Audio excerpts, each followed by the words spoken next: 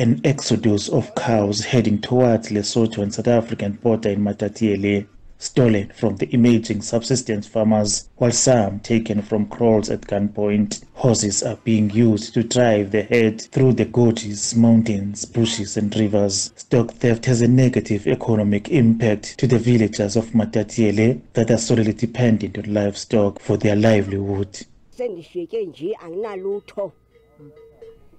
Sendishiyeke nje anginalutho ngoku bendizojonga ukuthi angana angeke ndizibone apha isikiti na I have nothing. They took all my livestock. Now I have just come to check if my cows are not here by any chance.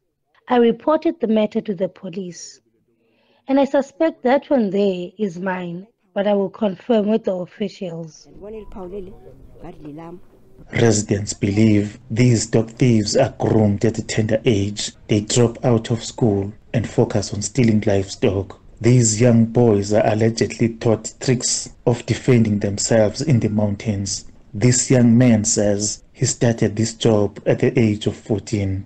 abantu bomotho bangichola entabeni ke ma- I was caught in the mountains of Mafupi by the forum, and I was looking after the flock of sheep.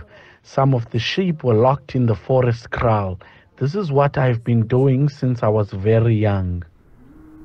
epiripo ehlathini Zuko Nwema, an emerging farmer, lost 54 cows. They were all taken from his farm in 2019. ngo-2019 um bathathe 54 yenkomo In 2019, they took 54 cows.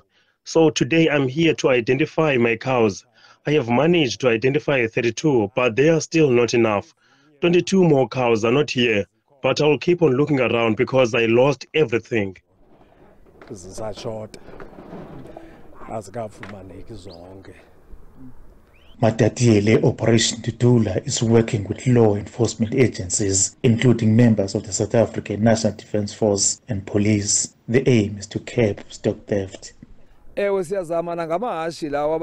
Yes, we are trying to use horses to fight this stock theft, but we think that a chopper would be ideal because it will be able to move up and down the mountains, tracking the stolen livestock.